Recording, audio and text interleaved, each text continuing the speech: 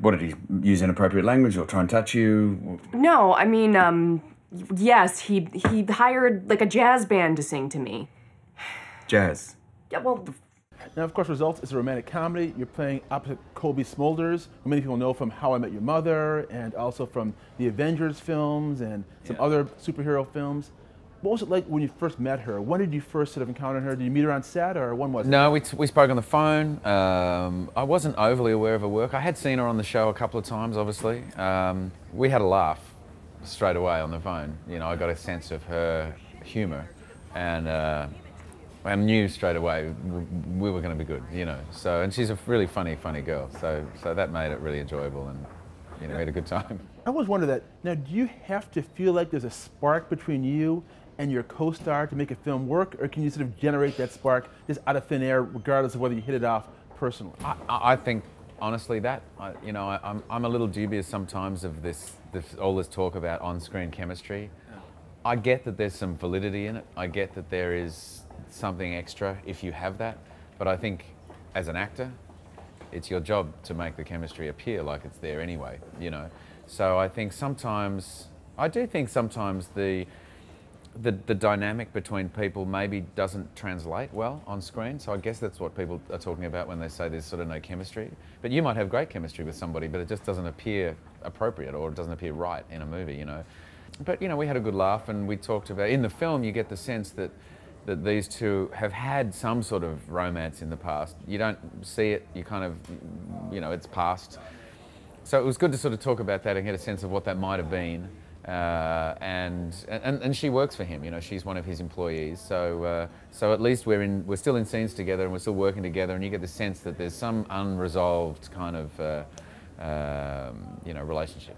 Now, in this new film, you play a trainer. A lot of people don't know this, but you actually were a bodybuilder early, early in your career, right? Well, I, I, I, yeah, for a very short, very short period of time in my life, I won a, I won a bodybuilding competition in 1984 when I was 16, like a junior state championship, which was a very odd thing to have done, but uh, it was fascinating, and in a way, you know, it was great training for this movie because uh, it's meant that I've been, you know, in and out of gyms for the last 30 odd years, really. So um, I did say to Andrew Bujalski, the director, I said, I, I don't need to do any research on this movie. I, I know this world. know.